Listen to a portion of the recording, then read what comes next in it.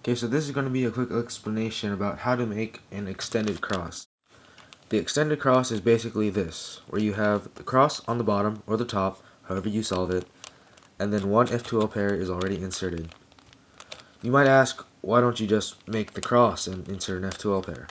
Well, recently Thrust, or Tristan Wright, has started using a method where he gets a 2x2x2 block and builds the cross around it in other words, an extended cross, and then he fills in three F2L pairs. And he's been getting very good times with it. So, obviously, getting a 2x2x2 block and building a cross around it, or an extended cross, is actually faster than building a cross and then inserting four F2L pairs. I'm going to be teaching you how to do it. So first what you want to do is build a 2x2x2 block in any corner, or if you only solve it from white, in one of these four corners. And the 2x2x2 block will look something like this. And then after you build the 2x2 block, you just build the rest of the two edge cross pieces around it, and then you have the the extended cross. So the first thing you want you're gonna want to do when you're building a 2x2x2 block is you want to build a 2x2x1 little square here. And what I'm going to do is look for something like this, where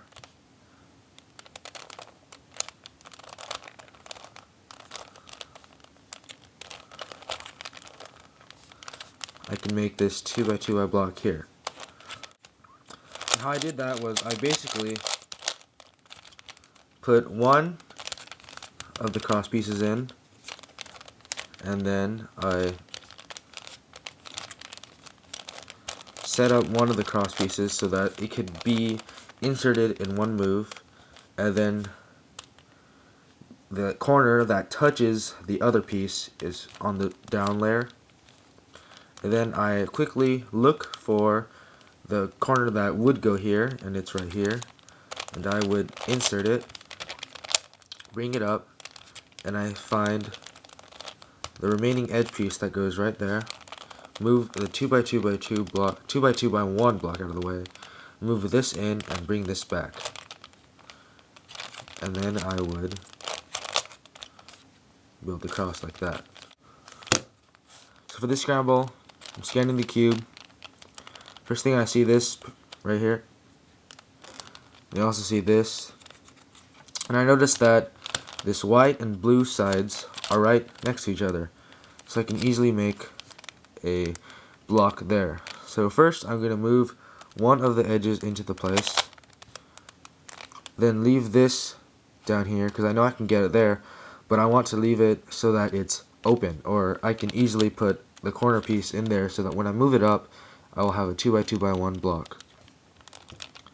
And so the piece, red, white, and blue is right there. I'm going to put it in like that and move it up. Then the piece that goes here is flipped, so I'm just going to do it like that. There's no real algorithms for this. You just kind of have to see how the cube works and how you can rotate corners. Really quick, I'm going to teach you how to rotate corners. So I am looking at from this point of view, this corner. So there's three ways I can move this corner. I can move it using the right side, the up side, or the front side. They all move this corner. And each side will move the corner a different way. Like if I move it with the right side, now the blue is facing up if I move it with the upside, the yellow is facing up. I move it with the front side, and now the red is facing up. So that's how you can rotate corners. Let's say I wanted this over here with the red side up. I could do this. If I wanted over there with the blue side up, I would do this. Say I wanted it here with the red side up. I would do that. And it's a good exercise to do stuff like this. Just say, okay, I'm going to try to get this piece here with the blue side up. Okay, and now let's try red side up. And if you do that enough, you'll be able to see how corners are manipulated and rotated. Now going back to the 2x2 by 2 block.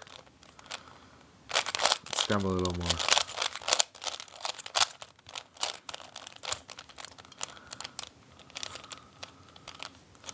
Okay, so first I see this. Well, it's not very helpful because I want the two corners to be in the right place.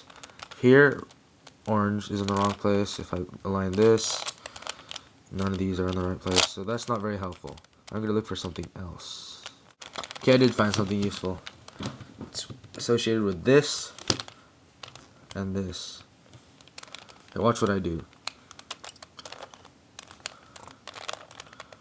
Then I look for the corner after I set these two up. The corner is right there. Now, I know I can move it there like that. And then before I put this there, I'm going to look for this piece, which is the piece that goes here. That's right there. Align that, the centers, move it up like that, then bring the slice over. Then I build the cross on top of that, or around that.